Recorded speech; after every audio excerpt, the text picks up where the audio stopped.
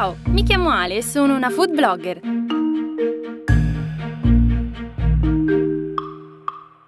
Per la mia rubrica Storie gustose, oggi parliamo della dieta mediterranea ho fatto un bel giretto nella mia Puglia a caccia di tutti i suoi segreti.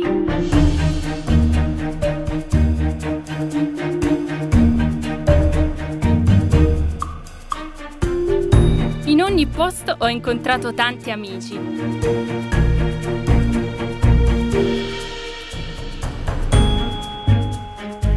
Io li definirei i saggi della dieta mediterranea.